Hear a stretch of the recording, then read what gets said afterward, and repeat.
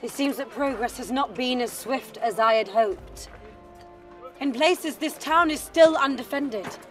And if we are to stop the advance of these wretched pagan Norsemen, we must quicken our resolve.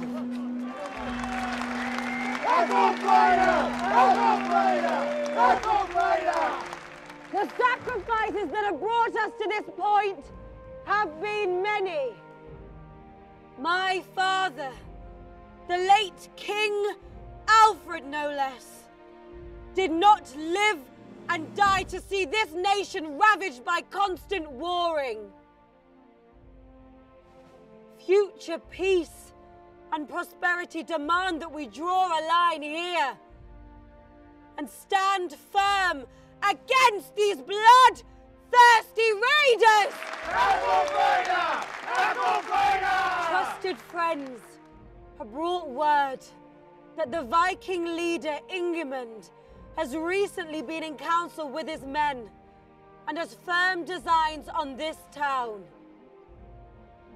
He was heard to say that it is right for them all to seize Chester with its wealth and its lands.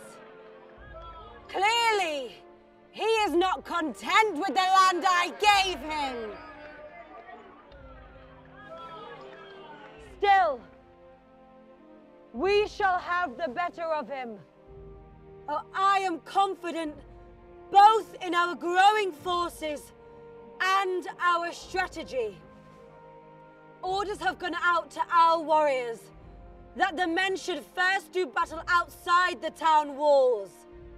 And then, when the moment is right, flee back into the town as if in defeat. When the Viking hordes come inside the town, we'll shut the gates behind them, and our hidden horsemen will slay them in the street!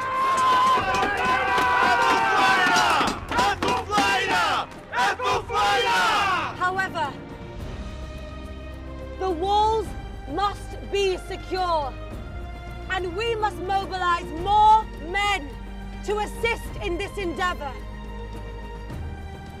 Well might they try and shelter under their feeble hurdles. But they will be no match for our missiles. Nonetheless, we must be ready with our boiling pots and beehives.